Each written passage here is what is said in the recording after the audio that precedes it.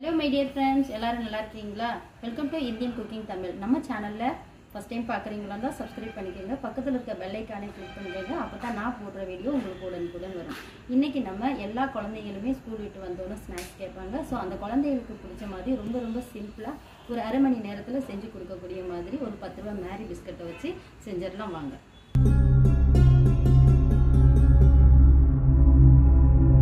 குழந்தைகளுக்கு குலோப்ஜாம் ரெடி பண்ணிடலாம் வாங்க.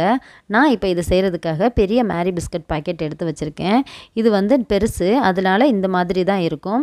இதுலேருந்து ஒரு பாதி மட்டும் நான் எடுத்துக்கிறேன்.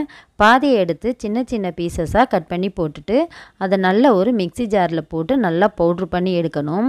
எங்கள் குழந்த வந்து ரொம்ப ஆசைப்பட்டு கேட்டால் ஒரு வாரமாக கேட்டுட்டு இருந்தா எனக்கு டைமே இல்லை செஞ்சு கொடுக்கறதுக்கு. ஸோ அதனால் நான் இன்றைக்கி ட்ரை பண்ணியிருக்கேன் இப்போ இது எல்லாத்தையுமே நல்லா பவுட்ரு பண்ணி எடுத்துகிட்டு வந்துடலாம் நல்லா நைஸ் பவுடராக அரைச்சிக்கோங்க. அப்போ தான் விரிசல் இல்லாமல் வரும். இப்போ இது கூடவே நல்லா நம்ம கலந்துக்கிறதுக்காக பால் ஆல்ரெடி நான் கொதிக்க வச்சு ஆற வச்சு வச்சுருக்கேன். நல்லா கெட்டியான பாலாக இருந்தால் ரொம்பவே நல்லது.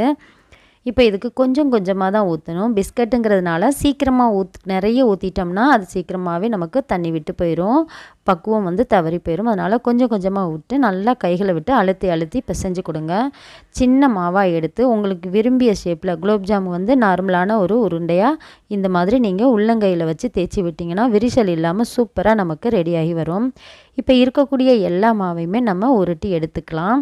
இந்த மாதிரி உருட்டி எடுக்கும்போது நமக்கு கொஞ்சம் கூட விரிசல் வராது. அதனால தான் நான் உள்ளங்கையில் வச்சு உருட்டி எடுக்கிறேன். உங்களுக்கு தேவைப்பட்டால் கொஞ்சம் ஆயில் கூட சேர்த்து கையில் வந்து ஆயில் தடவிட்டு உருட்டிக்கோங்க. விரிசல் இல்லாமல் இருக்கணும். இப்போ இதுக்கு தேவையான அளவு நான் நாட்டு சக்கரை எதுவுமே சேர்க்கலைங்க.